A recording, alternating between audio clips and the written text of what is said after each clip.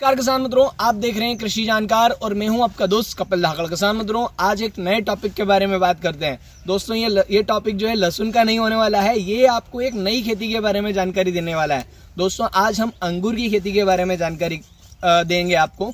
और बहुत सारे किसान मित्र सोच रहे होंगे, हम कहीं महाराष्ट्र वगैरह जाए, गए हैं। क्योंकि हम महाराष्ट्र में नहीं है दोस्तों, हम हैं रतलाम ज़िले के रियावन गाँव के अंदर। यहाँ पर भी अंगूर की खेती होती है दोस्तों। हाँ जी हाँ रियावन के अंदर, जहाँ हम रहते हैं, वहीं पर अंगूर पिछले 26 सालों से लगाया जा रहा है और बहुत अच्छी खेती इसकी हो रही है दोस्तों।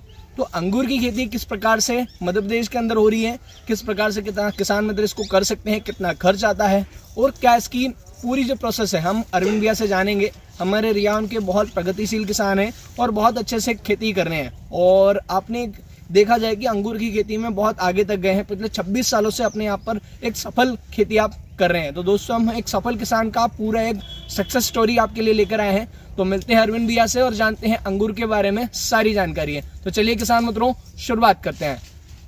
सो आप यहाँ पर देख सकते हैं अंगूर की खेती भी यहाँ पर होती है। धागड़ हाइड्रोपोनिक पर अंगूर का जो है वो पूरा बहुत पुराना काम है। आप यहाँ पर देख सकते हैं अंगूर के जो गुच्छे हैं वो बहुत सारे लगे हुए हैं। अभी हार्वेस्टिंग मैक्सिमम हो चुकी है और बड़े बड़े बड़े बड़े अंगूर हैं। ब्लैक कलर वाले अंगूर यहाँ पर आपको मैक्सिमम देखने को मिलेंगे। तो अरविंद भैया से बात करते हैं। हाँ। हमारे यहाँ अभी नाना पर्पल वेराइटी है। इसके अलावा दो तीन वेराइटियाँ और हम लोग ग्रो करते हैं। साथ में हरे अंगूर भी हम लोग ग्रो करते हैं पर मार्केट को लेके काले अंगूर के रेट ज़्यादा होते हैं इसलिए हम लोग फोकस पूरा काले अंगूर के ऊपर करते हैं। ये कौन सी वैरायटी बताई आपने? ये नाना पर्पल करके वैरायटी है ये एक अपडेट वैरायटी नई वैरायटी है। अच्छा अपडेटेड वैरायटी है न्यू वैरायटी है दोस्तों। जैसे कि महाराष्ट्र में बहुत ज़्यादा मात्रा में अंगूर होता है। तो अरविंद भैया आप किसानों को क्या कहना चाहेंगे कि मध्य प्रदेश में आप मेरे हिसाब से जब से मैंने समझ पकड़ी है तब से आपके यहाँ पर अंगूर ग्रो हो रहा है। अंगूर लग रहा है तो आप क्या ये अंगूर अपने यहाँ पर अपने एरिया में जो अपने जैसा अपना क्लाइमेट है उसके हिसाब से सूटेबल है और ये फ़ायदे की फ़सल है? बराबर। आ, हम लोग तो पिछले 26 साल से अंगूर की खेती कर रहे हैं और हम लोग किसानों से यही कहना चाहेंगे कि जो हम लोग परंपरागत खेती करते हैं उससे हटकर या उसके साथ में हम लोग बागवानी फ़सलें भी लगाएँगे तो ये एक प्रॉफिट का अलग ज़रिया बन जाता है क्योंकि यहाँ पे हम लोग एक बार लागत लगाते हैं और ये 10 से 15 साल तक चलता है। तो हम लोग तो यही सजेस्ट करेंगे कि आप साथ में इसको भी आ, मतलब अंगूर नहीं आप कोई सी भी बागवानी फ़सल लगाइए ताकि आपको प्रॉफिट थोड़ा डबल मिले। अच्छा एक दोनों जो किसान होते हैं उनकी एक जनरल टेंडेंसी होती है। हर चीज़ हर फ़सल में वो चीज़ मायने लगती है। मतलब हर चीज़ हर फ़सल में वो डिपेंड करती है। जैसे कि लहसुन का भाव नहीं है तो होता है सीज़न टू सीज़न वेरी करता है। पर ऐसा बागबानी वाली फ़सलों में नहीं है। कभी होता है थोड़ा बहुत प्लस माइनस होता है। देखो, होता क्या है कि मार्केट हमारे हाथ में नहीं रहता है। यहाँ पे डिमांड और सप्लाई के ऊपर सारा खेल रहता है। जैसे अंगूर की खेती यदि हम लोग अभी हम लोग इसको हार्वेस्ट कर रहे हैं अगर ये हम पंद्रह दिन बाद हार्वेस्ट करते हैं तो नासिक का अंगूर चालू हो जाता है तो हमारे अंगूर को रेट नहीं मिल पाता। तो यहाँ पे हम लोग मार्केट को समझ के थोड़ा आगे पीछे करेंगे तो ही रेट मिलेंगे। हम एक भीड़ में चलेंगे ना सबके अंगूर आ रहे हैं हम लोग भी अंगूर लेके जा रहे हैं तो फिर हमारी अंगूर की कोई वैल्यू नहीं है। अच्छा दोस्तों अच्छा एक चीज़ और मतलब ये कितने एकड़ में या कितने बीघे में अपना पूरा जो सिस्टम है वो लगा हुआ है अंगूर को लेकर? अभी जो हमारा जिस फ़ील्ड में हम लोग खड़े हैं ये एक एकड़ का प्लाट है और 800 पौधे हम लोगों ने लगा रखे हैं यहाँ पे। अच्छा एक एकड़ का कितना प्रोडक्शन आ जाता है? एक एकड़ में 800 पौधे हैं। एक पौधे से 10 से 12 किलो निकलता है। 10 किलो भी माने तो 8000 किलो बनता है। अच्छा लगभग 8000 किलो के आसपास जो है पर वर्ष एक ईयर में एक बार एक एक बार ही आता है ना अंगूर? साल में एक बार ही आता है। साल में एक बार ही आता है दोस्तों तो ये अभी सीज़न है।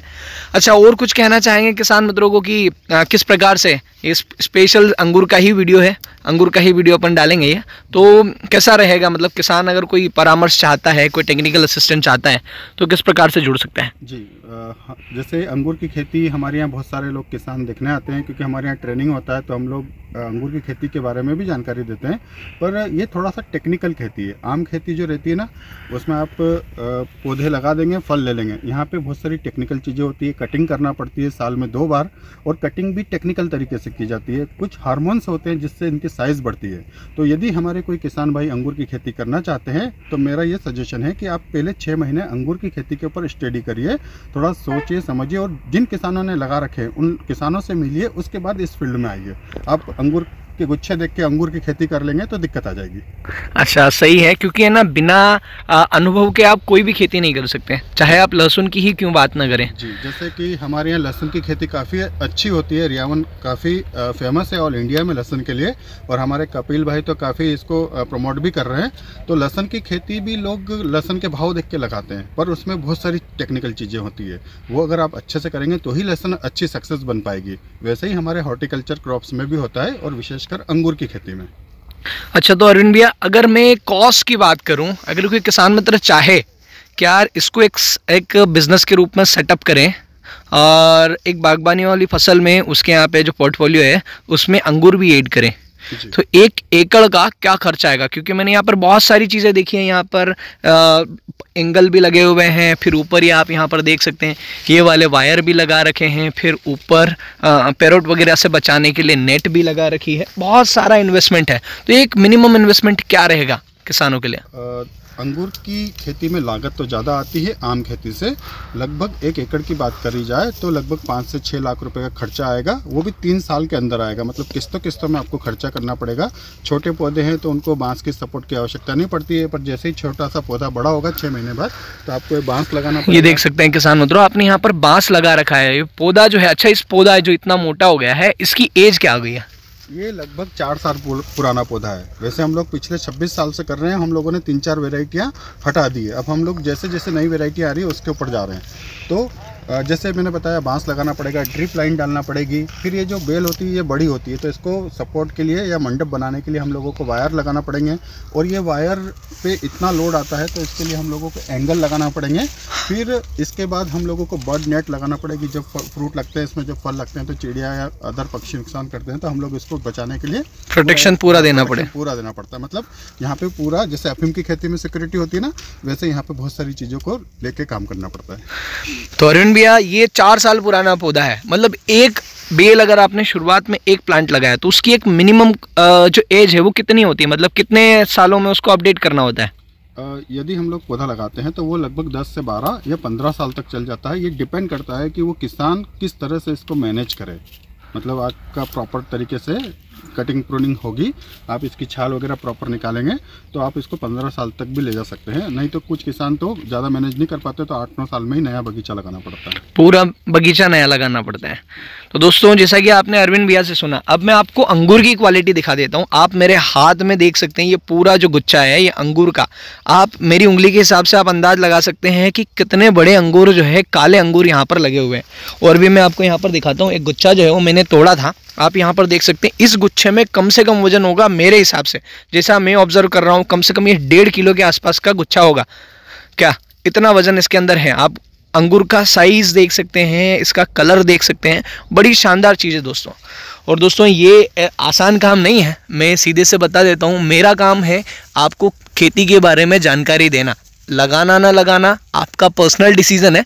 अभी यहाँ पर हार्वेस्टिंग लगभग हो चुकी है। और अरविंद भैया जिस एंगल की या जिस स्ट्रक्चर की बात कर रहे थे वो ये स्ट्रक्चर है। ये पूरा जो है बहुत मज़बूत यहाँ पर लगा रखा है। ऐसा पूरा बना रखा है।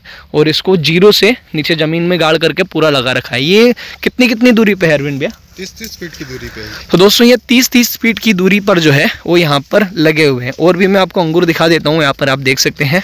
ये पूरे जो अंगूर हैं, अभी हार्वेस्ट हो चुके हैं यहाँ पर। कुछ पौधे बचे थे जो हम आपको दिखा रहे हैं दोस्तों। बड़ी शानदार चीज़ है दोस्तों। और भी अगर अंगूर के बारे में अगर आप जानकारी चाहते हैं, क्योंकि मुझे ये अंगूर के बारे में वीडियो डालने का आइडिया मेरा एक दोस्त है, जो आपको मैंने पहले बताया था, उड़ीसा से जो आया था। वहाँ पर उसने बताया था कि अंगूर के बारे में आप किसानों को बताना शुरू करें। बहुत सारे आपको चैनल को डाइवर्सिफाई करने की ज़रूरत है, क्योंकि केवल गार्लिक के ऊपर चैनल जो है, वो थोड़ा कम ग्रो करेगा। तो आप मैक्सिमम कोशिश करें कि नई नई चीज़ें आप कवर करें। तो वहाँ से मुझे आइडिया आया। आप यहाँ पर देख सकते हैं। अच्छा अरविंद भैया, एक चीज़ आप मुझे और बताएँ कि, जैसे कि हम मध्य प्रदेश के रतलाम ज़िले के अंदर रहते हैं। हमारे साथ जो किसान जुड़े हुए हैं वो राजस्थान से यूपी से हरियाणा से अपने महाराष्ट्र से। महाराष्ट्र में तो मेनली होती है मध्य प्रदेश के अलग अलग क्षेत्रों से जुड़े हुए हैं। तो ये कौन कौन से क्षेत्रों में इसकी खेती हो सकती है आप बता सकते हैं? जहाँ पे मौसम की अगर बात की जाए तो 40, इकतालीस या बयालीस डिग्री से ऊपर टेम्परेचर जाना नहीं चाहिए। और डाउन की बात की जाए तो लगभग 9 से 10 डिग्री से नीचे जाना नहीं चाहिए। अगर ऐसा टेम्परेचर कहीं होता है तो सब जगह लगा सकते हैं। और मिट्टी के लिए कुछ आप सजेशन देंगे? मिट्टी का जैसे हम लोग काली मिट्टी में लगा रहे हैं तो ये ब्लैक कॉटन साइल है। तो मिट्टी का ऐसा मायने नहीं रखता क्योंकि हमारा जो नीचे का जो पौधा है जिसे हम रोटी स्टॉक बोलते हैं वो किसी भी मिट्टी में सेट हो जाता है। तो दोस्तों जैसा कि आपने सुना तो देखा जाए तो ये हमारा राजस्थान जो है ये पश्चिमी राजस्थान यहाँ पर हो सकता है हमारे मध्य प्रदेश में हो सकता है महाराष्ट्र में हो सकता है। तो हो भी रहा है दोस्तों अगर आप यूट्यूब पर जाएँगे और एक्सप्लोर करेंगे तो आपको बहुत सारी चीज़ें आपको देखने को मिल जाएगी। तो दोस्तों, अगर आपका कोई सवाल, कोई जानकारी अगर छूट जाती है, अगर आप घूमना चाहते हैं या फिर अगर आप देखना चाहते हैं तो रतलाम में भी और कहीं अंगूर हो रहे हैं? हाँ रतलाम में, तितरी, मथुरी में काफ़ी पहले से अंगूर हो रहे हैं। मतलब मध्य प्रदेश में अगर अंगूर की शुरुआत की जाए तो हमारे तितरी, मथुरी के जो पाटीदार जी हैं, उन लोगों ने शुरुआत करी थी। हम लोग तो खैर बाद में आए हैं तो वहाँ पे भी काफ़ी अच्छी खेती होती है और वहाँ पे वाइनरी मतलब हमारी मध्य प्रदेश की एकमात्र वाइनरी, जो पहली वाइनरी, वहाँ पर स्टॉल है, वहाँ पर वाइन पर्पज़ पे भी अंगूर की वेराइटियाँ लगी हुई है और काफ़ी अच्छे स्तर पर लगी हुई है। तो दोस्तों, जैसा कि अरविंद भैया ने बताया वाइन पर्पस मतलब समझिए कि अंगूर से वाइन निकाली जाती है। उस वाइन को बनाने के लिए रतलाम ज़िले के तितरी गाँव में एक फैक्ट्री लगी हुई है, एक पूरा सेटअप है। जिससे अंगूर की एक स्पेशल वैरायटीज़ जो आती हैं वाइन वाली, जिनसे स्पेशल वाइन बनती है, उनको लगाया जाता है और उनसे वाइन निकाल कर उसको सेल की जाती है। कभी मौका मिलेगा तो आपको वो पूरी फैक्ट्री भी हम घुमाएँगे दोस्तों। तो बात करते हैं आखिरकार। हमने वीडियो तो बना दिया। अब कोई किसान मतलब जुड़ना चाहता है, अरविंद भैया तो आप मुझे ये बताइए कि अगर कोई किसान मित्र यहाँ पर आए, देखना चाहे एक्सप्लोर करना चाहे अंगूर की खेती को या दूसरी बागबानी वाली फ़सलों को तो वो किस प्रकार से आपसे जुड़ सकता है? जी, बराबर। हमारे यहाँ काफ़ी लोग देखने के लिए आते हैं, अंगूर की खेती को या अदर और भी हम लोग जो एक्टिविटीज़ करते हैं। तो हम लोगों ने एक शेड्यूल बना रखा है। हम लोग यहाँ पे ट्रेनिंग प्रोग्राम भी रखते हैं। Specially training program hydroponic technique के लिए रहता है। हाइड्रोपोनिक मतलब बिना मिट्टी की खेती हम लोग कैसे करें? तो उस ट्रेनिंग के अंदर हम लोग अंगूर की खेती, जामफल की खेती या फिर अंजीर की खेती, इसके ऊपर पूरा डिटेल में समझाते हैं। अच्छा तो कोई किसान वो चार्जेबल है या कैसे क्या रहेगा वो? हाँ देखो होता क्या है कि ट्रेनिंग तो चार्जेबल रहती है पर कोई किसान आते हैं जैसे हमारे यहाँ बड़ी बड़े बसों में भर के किसान भी आते हैं चालीस पचास लोग उनके लिए तो फ्री रहता है पर कोई स्पेशल जैसे हमारे पास भी टाइम नहीं रहता है फ़ोन पे भी बहुत सारे कॉल आते हैं तो एक छोटा सा हमने शेड्यूल बनाया है उसके लिए आप मुझे व्हाट्सअप पे मैसेज कर सकते हैं इस नंबर पर तो उसमें सारी डिटेल आपको आ जाएगी कि यहाँ पर कैसे आना है और यहाँ के क्या क्या चार्जेस हैं। तो किसान मित्रों अगर आप यहाँ पर अरविंद बिहार का पूरा प्लॉट जो है, वो विज़िट करना चाहते हैं तो आप अरविंद बिहा का जो नंबर है, इसके ऊपर व्हाट्सअप कर सकते हैं। दोस्तों, एक छोटी सी बात है कि एग्रो टूरिज़्म पूरा जैसा हमारे यहाँ पर होता है ना, बहुत बार हम कहीं पर घूमने जाते हैं। वैसा पूरा जो है, अरविंद बिया ने काफ़ी इन्वेस्ट करके पूरा एग्रो टूरिज़्म जैसा जो पूरा सिस्टम है, यहाँ पर डेवलप करके रखा है। मतलब यहाँ पर किसान आते हैं पूरे इंडिया से। अभी अरविंद भैया कुछ बताएँगे कि हाइड्रोपोनिक की ट्रेनिंग लेने के लिए अपने पास यहाँ पर रिया वन के अंदर कहाँ कहाँ से किसान आए हैं? हमारे यहाँ तो ऑल इंडिया से आए हैं इवन नेपाल से काफ़ी लोग आए हैं, थाईलैंड से भी लोग आए हैं तो श्रीलंका से भी लोग आए हैं तो हम लोग तो काफ़ी टाइम से मतलब आज हमको हाइड्रोपोनिक में नौ दस साल हो गए हैं, और हम लोगों ने मध्य प्रदेश में पहली बार हाइड्रोपोनिक चालू किया था तो हम लोग ट्रेनिंग देते हैं, और वही जैसे कपिल भैया ने बताया कि एग्रो टूरिज़्म तो हम लोगों ने इस पूरे फार्म को एग्रो टूरिज़्म बनाया है, और आपने अदर एग्रो टूरिज़्म देखे होंगे, वहाँ पर लोग इन्जॉय करने के लिए आते हैं, हमारे यहाँ एक बिज़नेस अगर आप आते हैं तो एक बिज़नेस मॉडल को लेके जाएँगे, यहाँ पे इंजॉय तो होगा ही सही। पर आपको कुछ एग्रीकल्चर को लेके, कुछ नई जो बिज़नेस को लेके आपको एक नई कॉन्सेप्ट को लेके जाएँगे यहाँ से। तो दोस्तों, अभी आपको अरविंद भैया का हाइड्रोपोनिक वाला जो सेटअप है, वो भी मैं आपको घुमा देता हूँ। कि आखिरकार वो हाइड्रोपोनिक वाला जो सेटअप है, वो कैसा है? आप आपके सामने देख सकते हैं, यहाँ पर अंगूर की जो है, ताज़ा हार्वेस्ट होके आई हुई है। और यहाँ पर ये कैरेट के अंदर जो अंगूर जो है, खेत से हार्वेस्ट होके जो आए हैं, उनको यहाँ कर कैरेट के अंदर भरा गया है। और यहाँ पर कुछ इस प्रकार से पैकेजिंग हो रही है। मतलब जो खराब अंगूर हैं उनको काट कर केची के माध्यम से अलग से शॉर्टिंग की जा रही है। आप देख सकते हैं पूरे। अंगूर का साइज़ कलर आप देख सकते हैं। बड़ा शानदार है दोस्तों। और बहुत अच्छी क्वालिटी के जो अंगूर हैं यहाँ पर आपको देखने को मिल जाएँगे दोस्तों। ये छोटे छोटे बॉक्स भरे जाते हैं। इन बॉक्स के अंदर जो है कितना वज़न आता है अरविंद भैया? चार किलो। चार किलो की एक पैकिंग आती है दोस्तों। ये चार किलो अंगूर है इसके अंदर। और इसको पैकेट पैकिंग करके मार्केट के अंदर सेल करने के लिए भेजा जाता है। कहाँ जा रहा है ये? ये हमारा मार्का है डीजीआर। डीजीआर। और ये जयपुर जा रहा है। दोस्तों डीजीआर का मतलब है धाकड़ ग्रेप्स रियावन। और बड़ी यूनिक आइडेंटिटी है दोस्तों। इस प्रकार से हम्म, जो अंगूर हैं वो पैकिंग हो रहे हैं। मैं आपको बता रहा था दोस्तों कि वो जो अंगूर का गुच्छा जो है वो डेढ़ किलो के आसपास का है। तो मेरा थोड़ा सा अजम्पन गलत था। यहाँ पर आप देख सकते हैं उसके अंदर जो वज़न है एक किलो 190 ग्राम के आसपास जो वज़न है, उस अंगूर के गुच्छे के अंदर आपको देखने को मिलेगा दोस्तों। बहुत बड़ा गुच्छा है, बड़े शानदार क्वालिटी के अंगूर है दोस्तों। मतलब हम देख लेते हैं, धाकड़ हाइड्रोपोनिक यहाँ पर आप देख सकते हैं पूरा सेटअप और अब हम हाइड्रोपोनिक वाला जो सेटअप है, वो आपको दिखा देते हैं। हाइड्रोपोनिक का मतलब है किसान मित्रों, पानी का प्रयोग करके पाइप के माध्यम से मतलब हाइड्रो का मतलब होता है पानी, और उसको, उसके अंदर फ़सल ग्रो करने की जो टेक्निक है, उसको हाइड्रोपोनिक टेक्निक कहते हैं। आप यहाँ पर देख सकते हैं, ये जो है, पूरा सेटअप लगा हुआ है। ये पीवीसी पाइप है और पीवीसी पाइप के अंदर पानी का उपयोग करके जो है, फ़सल ग्रो की जा रही है। आप यहाँ पर देख सकते हैं, ये लेट्यूज है। लेट्यूज जो है चाइना में बहुत ज़्यादा खाया जाता है सलाद में। अब तो इंडिया में भी इसका प्रचलन आ गया है।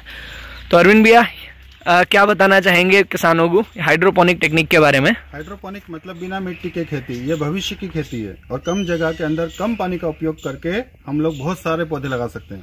इसमें क्या होता है हम लोग पाइप का उपयोग करते हैं इसके अंदर पानी वो भी न्यूट्रिशन वाला साथ में ये नेटपोट और इसमें कोकोपिट डाल के इस पौधों को इसमें रख देते हैं। अब देखिए ये जड़े ये पानी लेती है न्यूट्रिशन लेती है और ये पौधा ऐसे ग्रो करता है। हाँ मतलब देखा जाए तो ग्रो तो नॉर्मली हो रहा है ये। हाँ, हाँ। ये टेक्निक से हो रहा है मतलब हाँ, से हो रहा है। टेक्निक ही अलग है। दोस्तों आपको मैं अंगूर वगैरह भी यहाँ पर टमाटर आपको दिखा देता हूँ।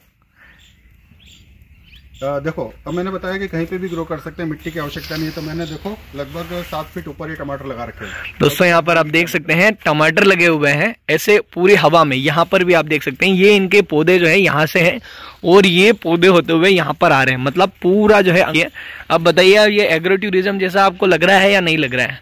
दोस्तों, इस इस हाइड्रोपोनिक टेक्निक को अगर आप कंप्लीट वीडियो कंप्लीट डिटेल के साथ में देखना चाहते हैं तो आप जम के कमेंट करिएगा, जम के शेयर करिएगा, और जितने ज़्यादा इस पर व्यूज़ आएँगे, उतने ही ज़्यादा हम मोटिवेट होंगे आपको हाइड्रोपोनिक टेक्निक के बारे में पूरी कंप्लीट जानकारी देने के लिए। यहाँ पर आपको अलग अलग प्रकार के जो है फूल भी देखने को मिलेंगे, यहाँ पर अलग अलग प्रकार की गोभी भी देखने को मिलेगी, यहाँ पर अंजीर लगे हैं, यहाँ पर सेव फल लगे हुए हैं, बहुत सारी ऐसी चीज़ें हैं। आप यहाँ पर ग्रो बेग के अंदर आपको टमाटर भी अलग अलग वेराइटीज़ के देखने को मिल जाएँगे। उधर आप देख सकते हैं, उधर पिटूनिया वगैरह लगा हुआ है। अलग अलग वेराइटीज़ के फूल यहाँ पर लगे हुए हैं। बड़ी शानदार चीज़ है दोस्तों। और भी मैं आपको यहाँ पर दिखाऊँ तो अरविंद भैया ने इधर बाहर साइड में अपना पूरा एक जामफल का बगीचा भी सेट किया हुआ है। वहाँ पर आपको सीडलेस लेमन देखने को मिलेंगे और साथ में आपको वहाँ पर बी एन आर जामफल देखने को मिलेंगे। बहुत सारी ऐसी चीज़ें हैं जो आपको अरविंदिया के सेटअप पर आपको देखने को मिल जाएगी। तो ये बड़ा शानदार सेटअप है दोस्तों। अगर आप इसके बारे में डिटेल कंप्लीट वीडियो अगर आप चाहते हैं तो आप हमें कमेंट के माध्यम से बता सकते हैं। हम बहुत जल्दी आपके लिए डिटेल वीडियो लेकर आएँगे दोस्तों। तो दोस्तों, आज के वीडियो में इतना ही। मिलते हैं नेक्स्ट वीडियो में। तब तक के लिए जय जवान, जय किसान, धन्यवाद।